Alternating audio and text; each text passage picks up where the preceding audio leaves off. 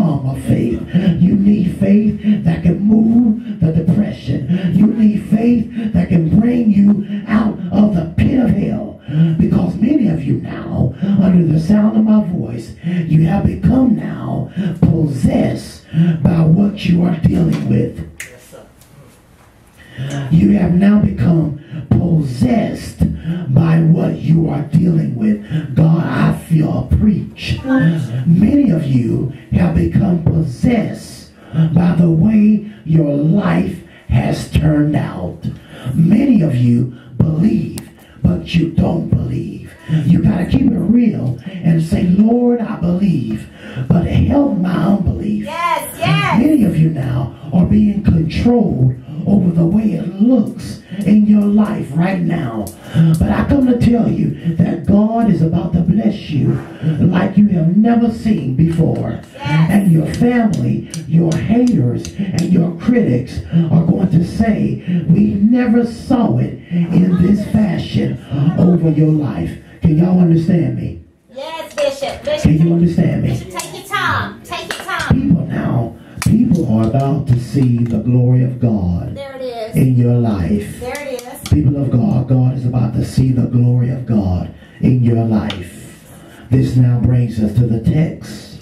The pericope says in verse 3 And they come unto him, bringing one sick of the palsy, which was born of four. That's it. Verse 4 And when they could not come nigh unto him for the press, they uncovered the roof where he was. And when they had broken it up, they let down the bed wherein the sick of the palsy Come on, lay. Bishop. The revelation. Look at your name and say the revelation. The revelation. I revelation. feel a teaching anointing. I feel a Just take teaching your time, anointing. Bishop. Don't overstrain your voice. The revelation in these two verses are many beds were mats, but the paralytic's friends may have carried him on the bed which he lay all the time Yes. because of his issue. And this man now, he was stuck on this one bed and he was paralyzed. In verse 3, it says, one sick of the palsy. In the Greek language, that means paralyzed. And the word paralyzed, it means to dissolve. It means it has dissolved. It means the loss, write this down. It means the loss paralyzed. Paralyzed means the loss of power to move any part of the body.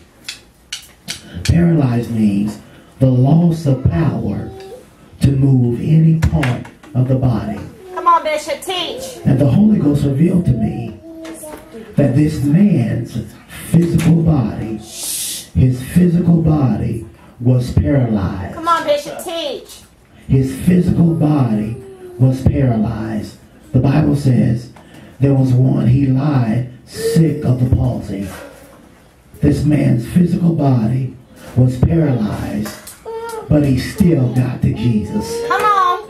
Come on, Bishop. I'm gonna pause right there. that's good. He was paralyzed, Mama. Mama like this. He was paralyzed, Pastor Bobby, but he still got to Jesus. Amen. Come on oh, I'm messing with y'all. See, you I'm messing with the teaching anointing. Yes. The Holy Ghost revealed to me that this man may have been physically paralyzed. I'm gonna teach today, y'all. Can I teach? Yes, Bishop. Yes, Bishop. This man had been physically paralyzed, and he lost. The first thing is he was physically paralyzed. The second thing, he lost the power to physically move any part of his body. That's right. But there's hope. And the hope is he could not move his physical body, but his faith was not paralyzed. Come on, Amen. Bishop. All right. Say it again, Go Bishop. ahead. His physical body was paralyzed, Yes, Lord.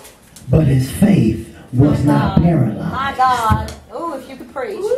And the Holy Ghost told me to tell you, Woo, if he could preach. the Holy Ghost told me to Come on, tell you Bishop. that many of you are going by what your life looks like now. Come on, Bishop. Help us, Bishop. And you have allowed your situation to paralyze your faith. you felt that, didn't you? Look at that, look at Pastor. you have allowed what it looks like in your life to paralyze your faith. Come on, Bishop. Help me, Bishop. Your faith has become paralyzed because of what you see you are going through. Get out outside. Many of you, your faith has lost the power to move all of the mountains in your My life. God. You have become a paralytic in your faith. Come on, Bishop. My God, ouch. The text. Pastor Bob and my daughter, what messed me up in this pericope text is not only did this paralyzed man have faith, but he was connected to people and had four friends who had crazy faith. Come on. Not just faith, but abnormal faith. Faith out of the norm. Crazy faith. And the Holy Ghost told me to tell you that many of you need to choose your friends wisely. Amen. My God. The Bible says in the proverbial scriptures that we must choose our friends wisely. Everybody who say they are your friend aren't necessarily your friend. And this paralytic had friends who had crazy faith like he did. Amen. Because sometimes you can connect with people who don't believe like you. And they can become a major hindrance to you and your faith. Come on, Bishop. And many of you could have already been delivered.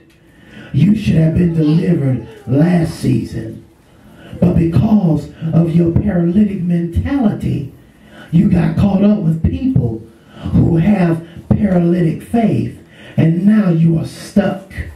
Come on, Bishop. But today, I come to pull you out of your paralytic mentality. Because notice now, paralyzed means not being able to use your physical body. Come on, Bishop. And whom Jesus sets free is free indeed. And I heard Bishop Morton say, certain people have careful faith. And then there is a people who have reckless faith. Come on, Bishop. Now watch this. Write this down. Take notes. Careful faith says, be careful now. Careful faith says, you're dreaming too big. That's what careful faith says. Careful faith says, well, start out. Start out on this low level and work your way up. That's careful faith. But the Holy Ghost revealed to me that too many believers have what you call paralytic faith. This is what it means, which means their faith is under attack because of the situation you are in. And your faith has lost the power to move you out of the pit-like situation you're in. And I come to preach to someone who has reckless faith, meaning, meaning I am believing for the impossible. When a reckless driver is getting in an accident You said it. and they realize the car is out of control, mm-hmm. they take their hands off the steering wheel mm-hmm. and they start calling on Jesus Come on, Bishop. and they cover their eyes and they hope the car will land in safety. Amen. And that is how your faith has got to be. You got to allow your faith to, to ignore your present situation. You got to have that reckless faith that will cause you to ignore having no money. Because reckless faith says, I may have no money, but God is still Jehovah Jireh. Amen. Reckless faith says, I'm going to love your evil family member, your evil friend, right. your evil husband, your evil wife, your rebellious kids. And you got to know that things are about to shift in your life for the better. Come on, Bishop. I wish I could preach this, y'all. And it's all right, Bishop. You preaching? in verses 5 through 7. In verses 5 through 7, the Holy Ghost illuminated revelatory revelation to me. And this is what it was in verses 5 through 7 as you look at them. The reason why the scribes had a hard time with Jesus. And they accused Jesus of blasphemy because Jesus said, Son, thy sins be forgiven. And God revealed to me they didn't recognize God in human flesh. Come on, Lord have mercy. Come on, Bishop. Lord have mercy. They did not recognize God in human flesh. Watch this. They knew from Old Testament that sins were to be atoned for by offerings in the temple. Come on, Bishop. And Judaism taught that only God could forgive sins. And so they didn't see Jesus. They didn't see Jesus as a priest. And no one had offered a sacrifice. Come on, Bishop. But what they failed to realize, Mama, is that Jesus was God in the flesh. Jesus was God in flesh saying, Son, thy sins be forgiven. On, Bishop. It was God saying, Your sins are forgiven. And so now, because now their hearts were corrupt, they kept God, they kept God in a box and didn't realize that Jesus, through his death and resurrection, would be the actual sacrifice and atone for our sins. Come on. They forgot in the Old Testament where it says he was wounded for our transgressions and he was bruised for our iniquities. And the chastisement of our peace was upon him. And by his stripes he we are healed. This is Christ talking. This is Christ we are talking about. God, I can preach right now. I wish I could preach.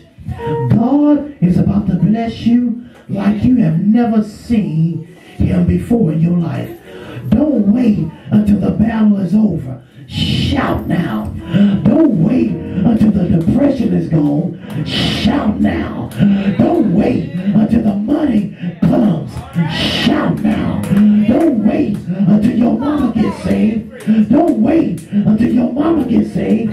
Don't wait until your husband or your wife gets saved. Don't wait until you find your wife or find your husband. Shout now. Look at your neighbor and say, neighbor, shout now. Shout until you get your breakthrough. Shout until you get healed. Shout until you get delivered. People are going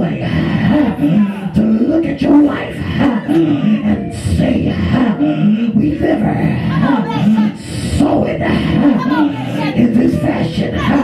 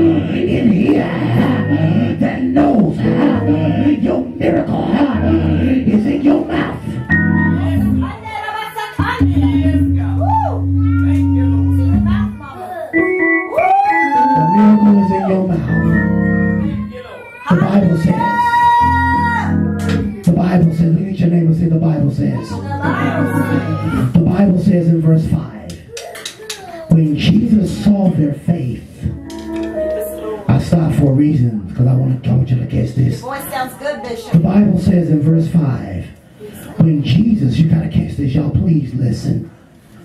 The Bible says, when Jesus saw their faith, he said unto the sick of the palsy, Son, thy sins be forgiven thee. And I began to ask God why Jesus stopped preaching the gospel and preaching the kingdom.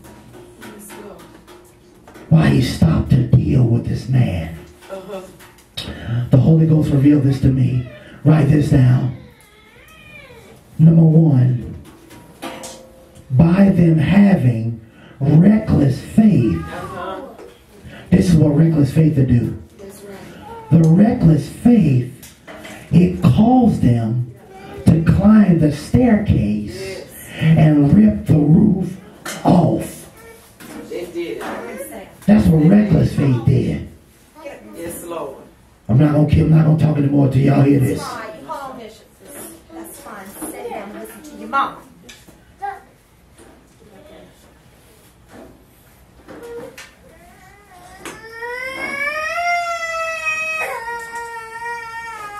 Number one, by them having reckless faith. Reckless faith, not careful faith. Come on, Bishop. It calls them to climb the staircase and rip the roof off. And these four people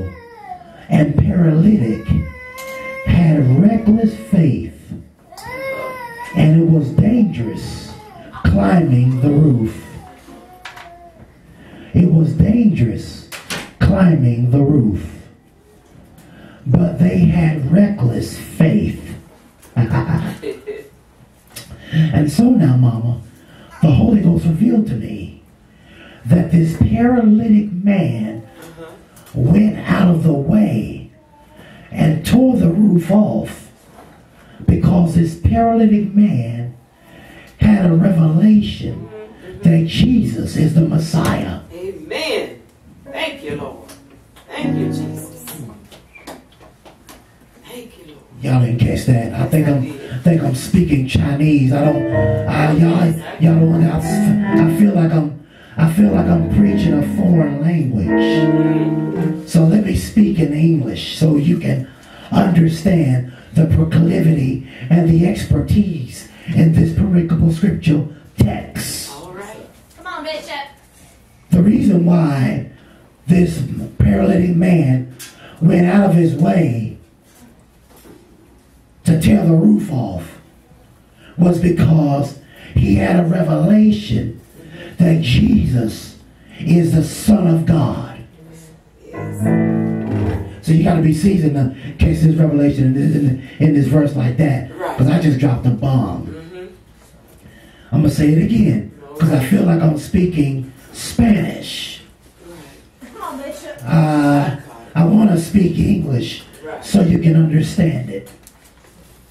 Because many people came to Jesus for healing, but not all of them had a revelation of who he was. Amen. Come on, Bishop. That's true. But this paralytic man had a revelation that Jesus Christ was the Son of God. So in turn, he went out of his way to get to the Messiah. Amen. Amen. Because all the people thought there was a crowd of people crowding the house, listening to him, listening to him preach. But they was listening to him, Pastor Bobbitt, but at the same time didn't have a revelation of who he was. Amen. Thank you, Lord. Come on, Bishop. Because now, because of that, they went out of the norm to get to Jesus. They went out of the norm, reckless faith. They went out of the norm to get to Jesus. And when are you, as the people of God, are going to go out of the norm to get to Jesus? Come on, Bishop. Help me, Bishop. The Holy Ghost told me to tell you, when you really know who Jesus is, you will tear the roof off That's to get to him. That's right. That's right. When you really know who Jesus is, you won't worry how you're going to make it. I'm going to say that again. You can bring the kids back in here now. when you really know who Jesus is.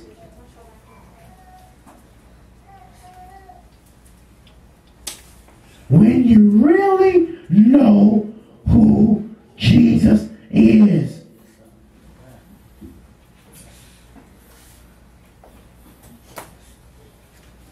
When you really know who Jesus is. Feel the power of God. Yes. Hold on one second, son. I'm waiting for Pastor to come back in. When you really know who Jesus is,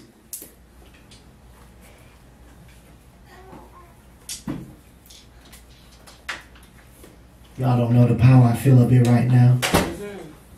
When you really know who Jesus is, y'all, I'm telling y'all, Hey. when you really know who Jesus is, Jesus. when you really know him, I'm trying to help y'all. Because I believe the word. I know what the word say. When you really know who Jesus is.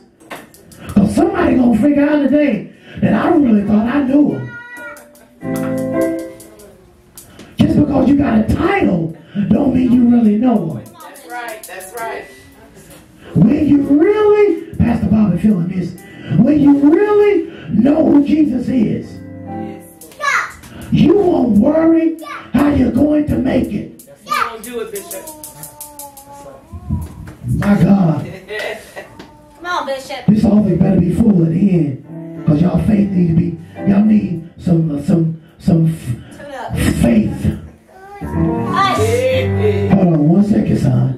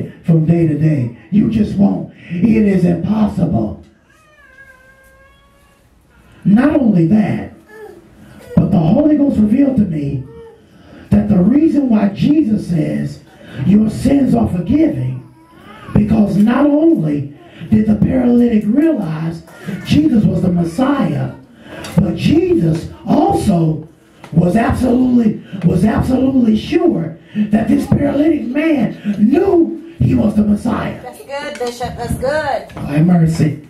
You gotta be seasoned to get, to get this revelation of this word. Say that right, Mama. That's right. So the paralytic man knew that Jesus was the Messiah without the paralytic man telling Jesus that. That's right. He deserved it. But Jesus discerned, thank you, Uh-huh. in his spirit that this paralytic man knew who he was and that he was the Messiah. Amen. Come on. That's good, Bishop. Woo.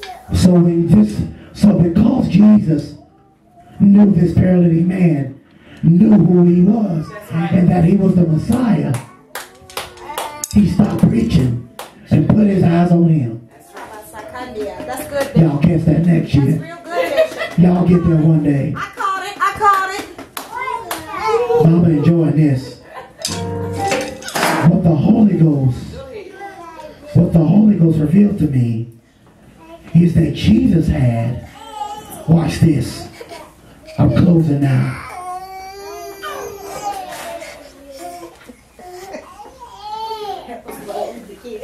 Go ahead, I know. Lord have Because I want y'all to catch this revelation. Because this next thing is going to blow your mind. What the Holy Ghost revealed to me.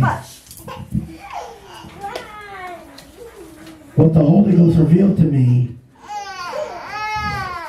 What the Holy Ghost revealed to me is that Jesus had what you call the messianic secret. Hey, hey. Go ahead. Go ahead. I don't have, I'm the only theologian in here. I realize that. Teach us, Bishop. Teach us. But that's okay. God had to give it to you. He did, didn't? Uh-huh. What the Holy Ghost revealed to me is that Jesus had what you called the messianic secret. Amen. Meaning, write this down. Meaning when Jesus was in ministry, he purposed in his mind to keep it a secret of him being the Messiah. Amen. Amen. Amen. Almighty. Lord have mercy. Lord, I wish I had some scholars in here. Jesus conceals Jesus on purpose. He hides his messianic identity. Come on, Bishop. Come on, Bishop. And the question theologically is why? Mm-hmm. Catch this, take notes. If Jesus would have revealed himself as the Messiah and revealed the secret too soon, That's right. then it could have actually hindered his earthly ministry right. and messed up the destiny of him going to the cross at the appropriate time. Amen. Amen. Go ahead. My God. Look at your neighbor and say,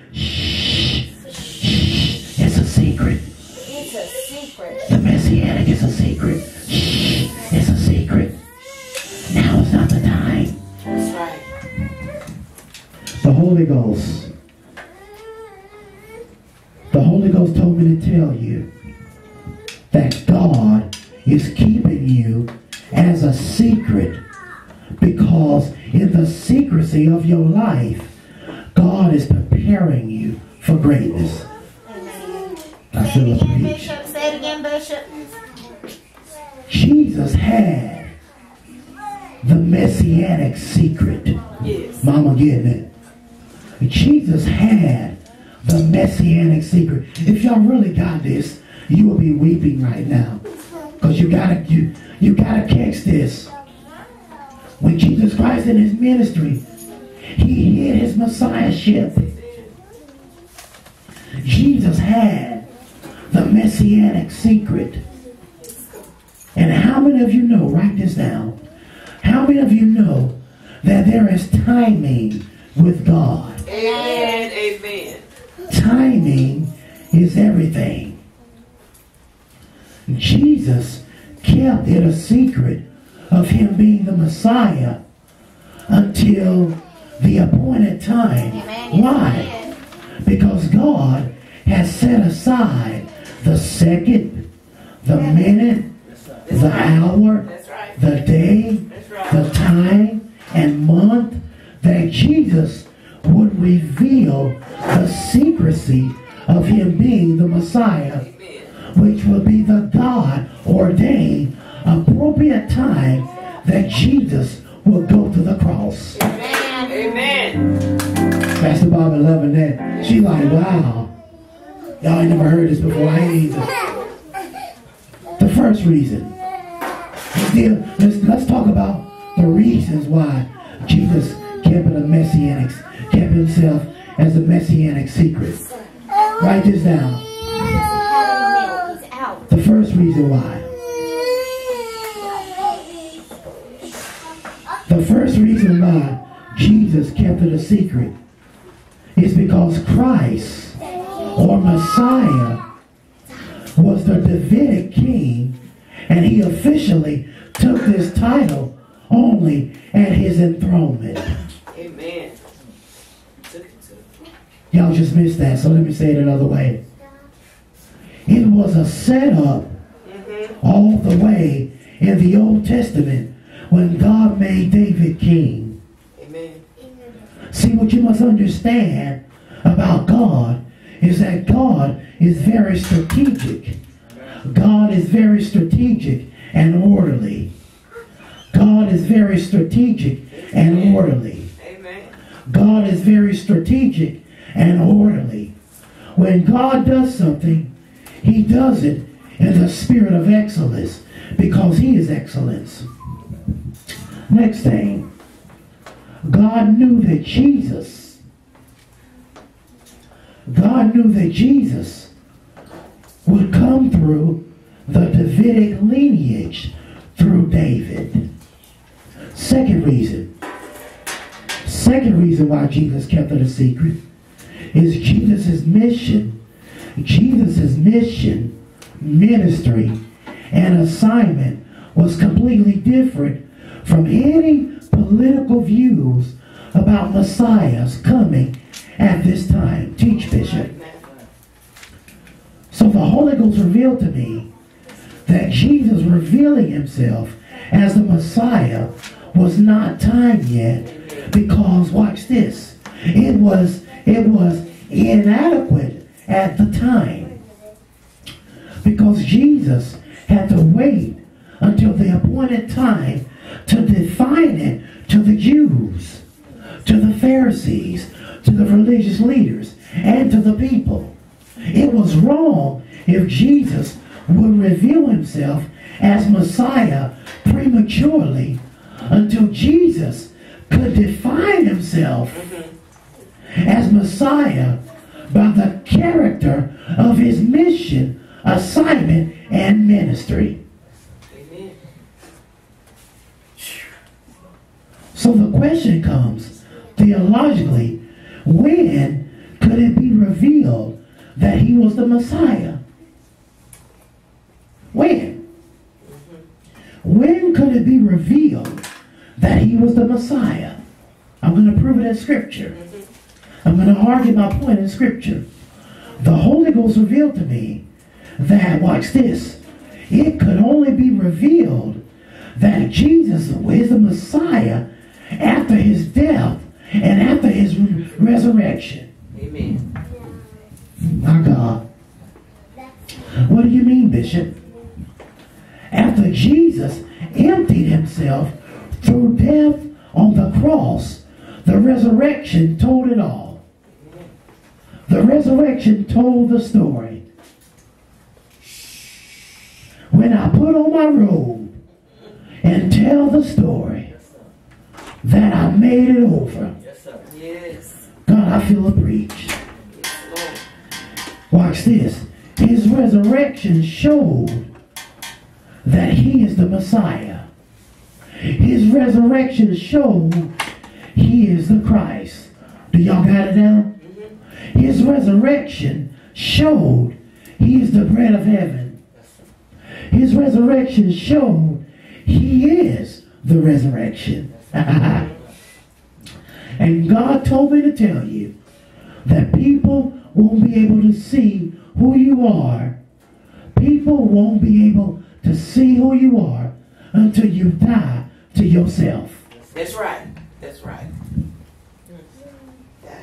People won't be able to see who you are until you die to yourself. When you give up yourself and completely surrender to God, that's when God will reveal to people who you are. Because once you die to your flesh, and to your flesh, no, it is then when God will resurrect you.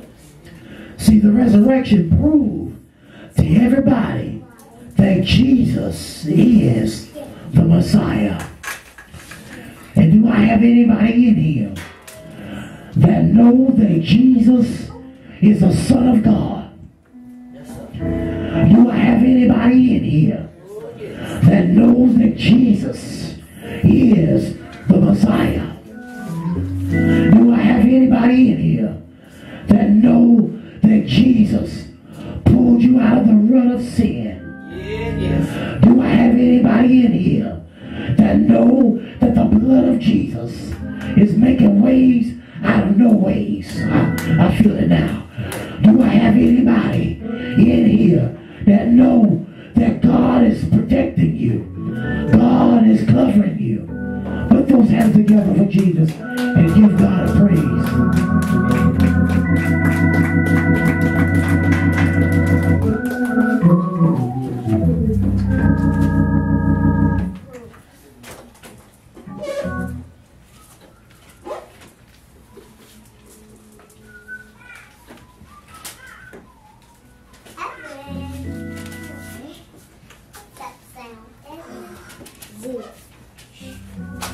Joshua chapter 1. verse 6 he says, he tells Joshua, be strong and of good courage. For unto this people thou shalt thou divide for an inheritance the land which I swear unto their fathers to give them. Verse 7 says, Only be thou strong and very courageous, that thou mayest observe to do according to all the law which Moses my servant commanded thee. Turn not from it to the right hand or to the left, that thou mayest prosper whithersoever thou goest. So I'm going to tell you how to be blessed. If you obey, my son, if you obey the word of God, Don, if you obey the word of God and do everything that the word of God says, the Bible says that you will be prosperous and successful.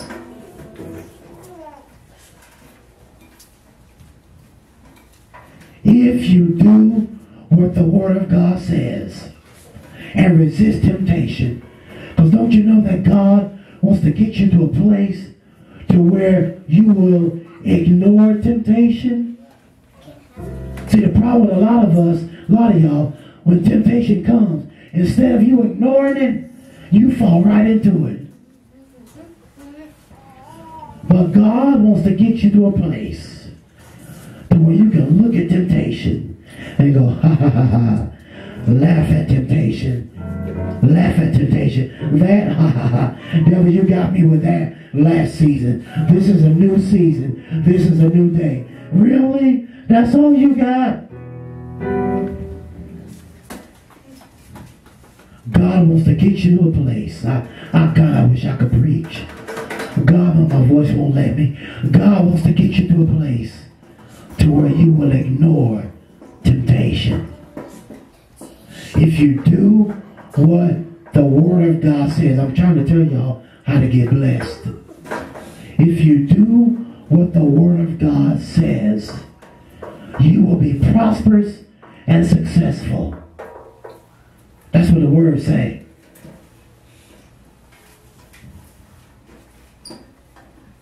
Put those hands together for Jesus and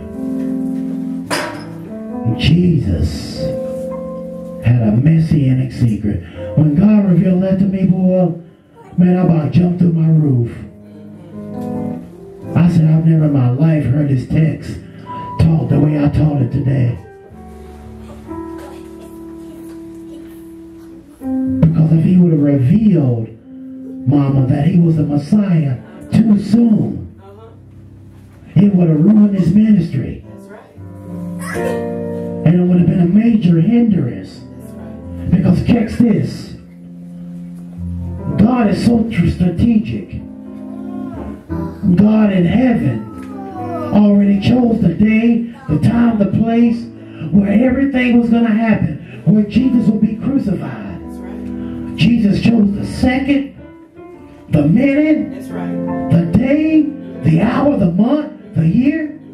He had everything orchestrated. So Jesus had to keep it a secret.